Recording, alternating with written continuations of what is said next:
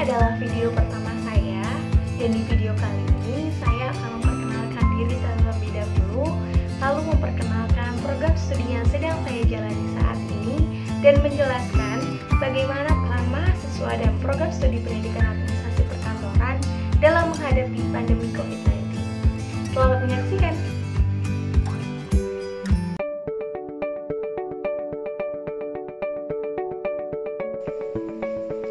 Nama saya Afifatul Zakia. Saya lahir di Indramayu 6 Desember 1999 dan umur saya sekarang 20 tahun. Merupakan mahasiswa di salah satu universitas di Jakarta. Alamat email saya afifatulzakia@gmail.com. Hobi saya mendengarkan musik, menonton film atau drama Korea, dan membaca buku atau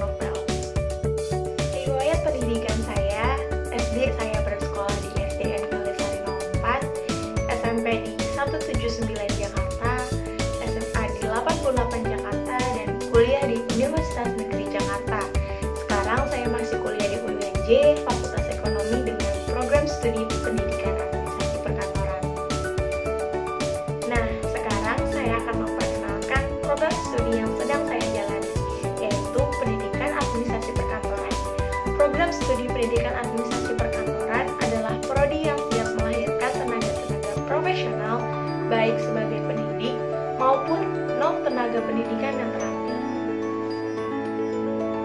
Alasan saya mengambil program studi tersebut yaitu yang pertama merupakan saran dari guru les karena merasa prodi pendidikan administrasi perkantoran sangat cocok dengan diri saya.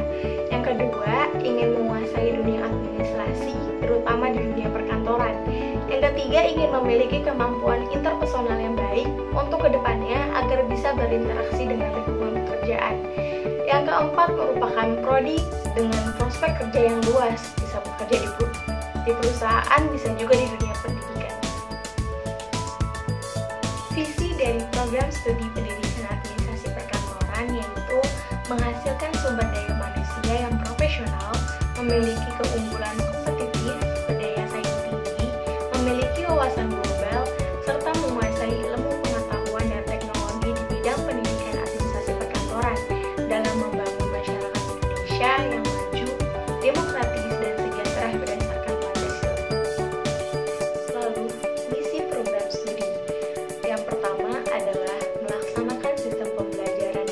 profesional dengan terus mengembangkan berbagai sumber daya pembelajaran dan relevansi muatan kurikulum dengan kebutuhan dunia bisnis yang diimbangi dengan akhlak mulia, wawasan wirausaha, dan wawasan global. Yang kedua, melaksanakan peningkatan mutu pendidikan dan pengajaran penelitian dan pengabdian kepada masyarakat yang profesional dengan terus mengembangkan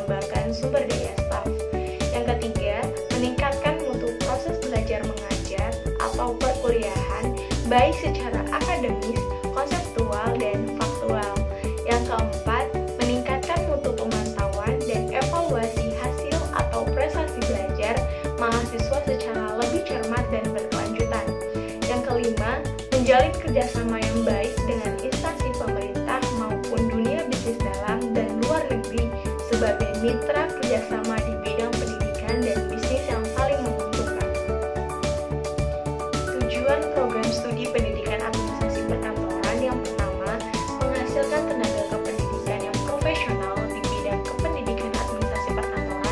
pada tingkat SLUTP, SMU, dan SMK.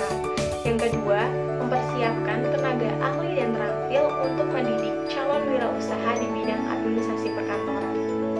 Profil dan profesi lulusan program studi yang diharapkan sesuai KKNI adalah sebagai berikut. Yang pertama, guru administrasi perkantoran SMK. Yang kedua, peneliti bidang kependidikan. Yang ketiga, administrator. Yang keempat, wirausaha.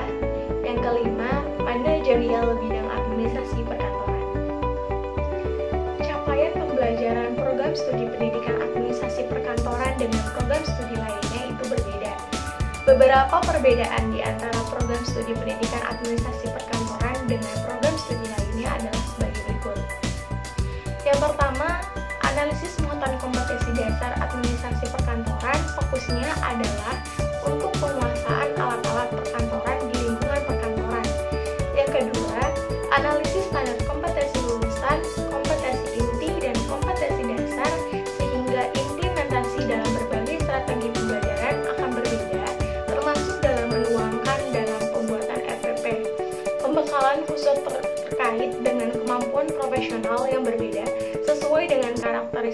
program studi.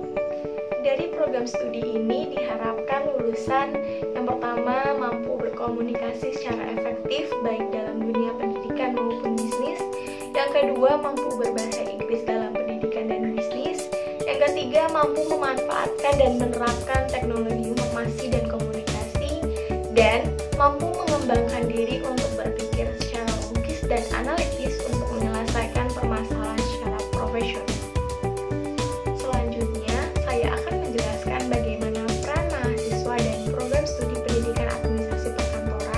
dalam menghadapi pandemi COVID-19.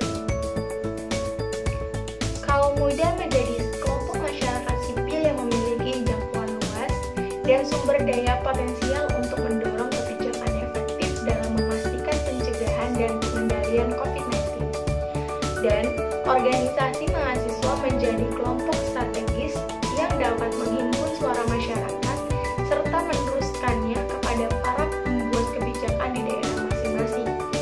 Dengan organisasi mahasiswa, upaya pencegahan dan komunikasi risiko di masyarakat dapat dilakukan.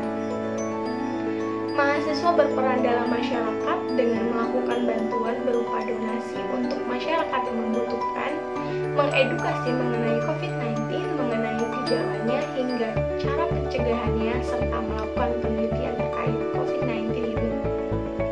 Salah satu cara agar terhindar dari COVID-19 yaitu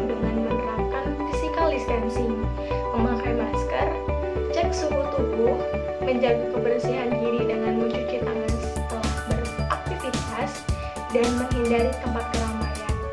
Oleh karena itu, mahasiswa harus benar-benar menjadi filter di tengah-tengah masyarakat, memberikan informasi yang kredibel bagi masyarakat, dan menjadi tameng dalam mencegah hoax.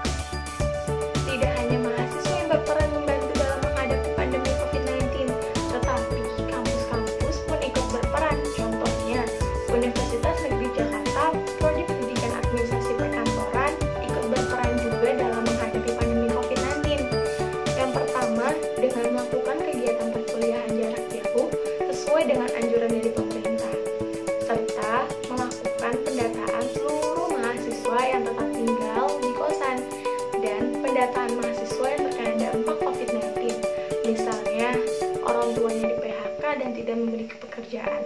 Dengan pendataan tersebut, Prodi Pendidikan Administrasi Perkantoran akan memberikan bantuan kepada mahasiswa yang sesuai dengan ketentuannya. Hanya itu, Prodi Pendidikan Administrasi Perkantoran juga memberikan bantuan kuota setiap bulannya kepada mahasiswa untuk